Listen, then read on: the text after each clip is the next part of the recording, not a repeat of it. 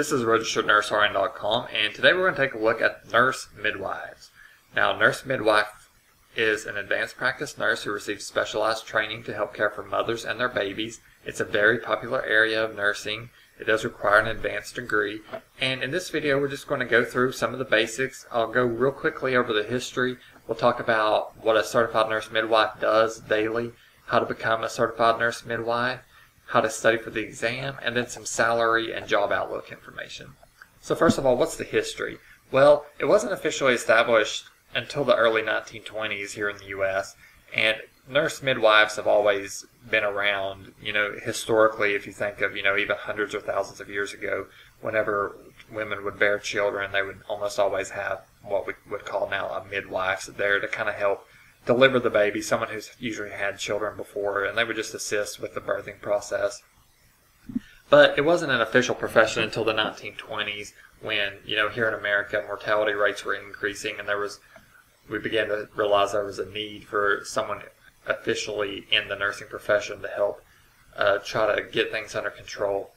So the Maternity Center Association was established and they wanted to find an excellent model for maternal and infant care so what they did was they looked to professionals outside of the United States who displayed excellent material child health records to help provide an organization with a model that they could use uh, in establishing an organization.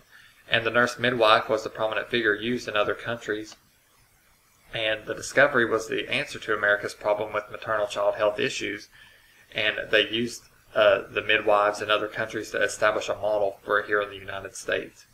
And a pioneer nurse named Mary Breckinridge created the Frontier Nursing Service in Kentucky around the same time the MCA began its quest to solve the healthcare problem with children.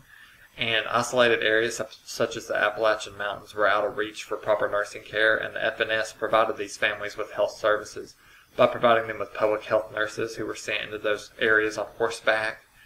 And the early nurse midwives would provide nursing care in many different, different settings, and they helped to solve the growing mortality rate problem. And Breckinridge traveled to England and France for a first-hand experience with maternity care, and by 1929 she convinced a few British nurse midwives to come to America to practice the specialized area of nursing, and they contributed immensely to help with the mortality rates and all the problems that they were facing at the time. And for more than 70 years now, nurse midwives have provided their services in the United States. The first school to offer nurse midwife training was established in the late 1920s, at the Maternity Center Association, and that first class graduated in 1933. And so it has an interesting history there. What is a nurse midwife? Okay, well, as we said before, it's an advanced practice nurse who receives special training and education in midwifery. And these healthcare providers provide medical care for women and their babies who are considered healthy and not big high risks. Uh, the individuals can prescribe treatments, medications, diagnostic and therapeutic measures, and medical devices in all states. The scope of their practice will vary depending on the state laws. So, you know, every state, like we talk about with registered any kind of nursing, really, the state board of nursing will set forth the scope and specific laws of how what they can do within their practice. So, um, but basically, the basic scope of their practice includes caring for females from puberty through menopause, including care for newborns, intrapartum, postpartum, and antepartum, and non-surgical gynecological care. In certain cases, certified nurse midwives provide care for male patients in relations to reproductive health and sexually transmitted diseases of their female partners. And many women enjoy the benefit of having a nurse midwife in attendance through their high risk pregnancies. You know, as we said, they typically don't care for women who are at high risk during pregnancies, but sometimes they will be requested, and they can work alongside a patient's doctor to assist them with some uh, with uh, with those high risk pregnancies. And again, they can collaborate with gynecologists, obstetricians, and so forth to provide assistance for women with complex medical histories. Okay, so how do you become a nurse midwife? Well, first of all, you're going to need a bachelor's degree before you enter a nurse midwife program. And if you have an associate's degree in nursing, you can always go back to school for your BSN. But if you're going for any kind of higher level of education in nursing, such as nurse practitioner or CRNA or nurse midwife, we always recommend people go straight for the bachelor's degree so that you won't have to worry about meeting those extra requirements. You won't have to go back to school and so forth. It is a master's degree program to become a midwife, so you know usually it's about two to three years for most of the midwife programs. And you're going to have to meet all the requirements before you attend to that program, such as you know a BSN degree, like we said before, and you probably already have to be licensed. So you're going to have to take the NCLEX in your state and become licensed as a registered nurse. And a lot of states will require that you have one to two years of experience as a nurse in the workforce before you're accepted into a master's degree program. So that's the general requirements before you go. And you can check with the American uh, College of Nurse Midwives for the state requirements if you want more information on that. And when you complete the program for nurse midwives and you graduate, then you will take a certification examination. And the American Midwifery Certification Board is one of the most notable certifying bodies for the Certified Nurse Midwife credential. The North American Registry of Midwives is another popular one. So there are a couple different uh, credentialing bodies there. And again, you'll have to take the certification examination, and once you pass that, and you've met all the educational requirements, and then you'll become licensed as a midwife. So, uh, just a brief tip though, when you're studying for the certified nurse midwife exam, you will want to, we recommend get a study guide for that, and there you know a couple different study guides out there for that, and you can look on Amazon.com and other places. But uh, we always recommend that anyone getting ready to take an NCLEX or any state boards test that you do get a study guide. A lot of times they'll have questions. Sometimes they even have software applications to help you practice. So that helps out.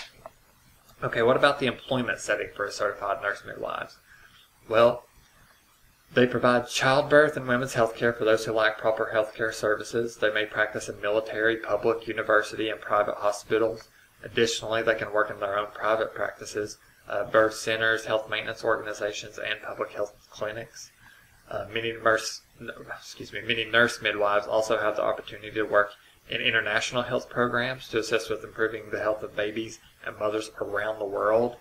Since nurse midwives have such a broad range of settings in which they can practice, there will continue to be a pretty good growth and high demand for this profession. So it's an interesting area to get into and a diverse group of people make up the certified nurse profession. The skill set that these individuals have are as diverse as their backgrounds. A lot of different people from a lot of different you know cultures become nurse midwives. It's very fascinating the way that they can interact. Nearly 95% of nurse midwives attend hospital birthing, and many hospitals across the country are beginning to offer midwifery practices to their patients who want that personalized attention that midwives can offer and the great thing about choosing the hospital as the birthing area is that there's an access to medication if the healthcare provider needs a medical intervention during the uh, birth. So that's makes it a little safer for both the midwife and the patient when they do it in a hospital setting like that. Home births and birthing centers are other environments in which the midwives can work. And the nurse midwives are more flexible and they offer highly personalized experiences for their patients.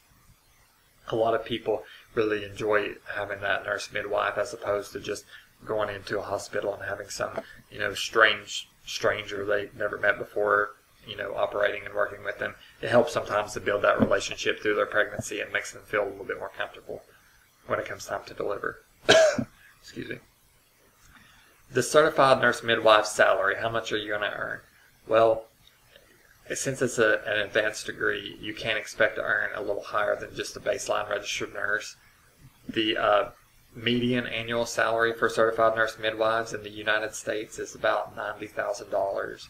So, again, a very good income. The lowest 10 to 20% earned about 76,000. So on the low end, you're probably looking at about 70 maybe 70 to 75,000. You know, if you're in a smaller town and you're brand new with no experience, you might make, you know, 65 to 70,000 starting out. The middle 50% salary earners earned about 83 to 98,000.